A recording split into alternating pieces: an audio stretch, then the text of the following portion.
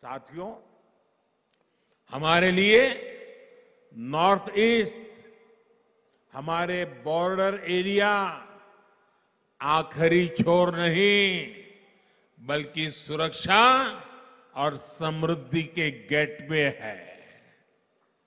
राष्ट्र की रक्षा भी यहीं से सुनिश्चित होती है और दूसरे देशों से व्यापार कारोबार भी यहीं से होता है। इसलिए एक और महत्वपूर्ण योजना है, जिसका लाभ नॉर्थ ईस्ट के राज्यों को होने वाला है। वो योजना है वाइब्रेंट बॉर्डर विलेज बनाना।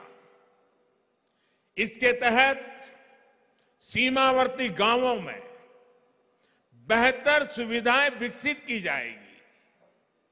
लंबे समय तक देश में ये सोच रही है।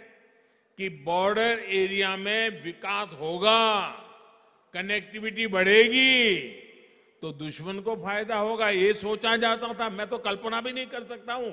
क्या ऐसा भी कभी सोचा जा सकता है?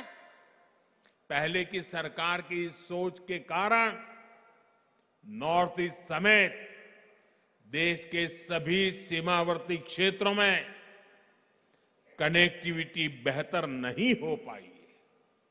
लेकिन आज डंके की चोट पर, बॉर्डर पर नई सड़कें, नई टनल, नए पुल, नई रेल लाइन, नए एयर स्ट्रिप जो भी आवश्यक है, एक के बाद एक उसके निर्माण का काम तेज गति से चल रहा है।